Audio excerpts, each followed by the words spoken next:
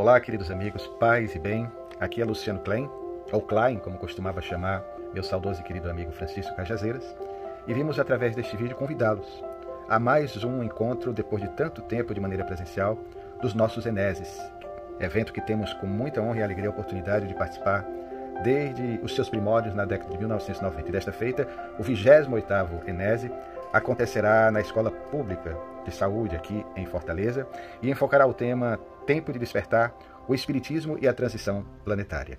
Estaremos ao lado do nosso querido amigo Severino Celestino, da grande companheira Eulália Bueno e desse jovem promessa do nosso movimento espírita, Alain Denizar Marinho, que tive a honra de ser seu professor no Colégio Militar de Fortaleza e hoje sendo meu mestre na abordagem que faz com segurança de temas doutrinários. Então queríamos convidar a todos para que juntos possamos estar nesse encontro que certamente nos ensejará, inclusive, fazer com que possamos desencarnar a saudade do abraço fraterno, presencial de muitos de vocês. Aguardamos a presença de todos.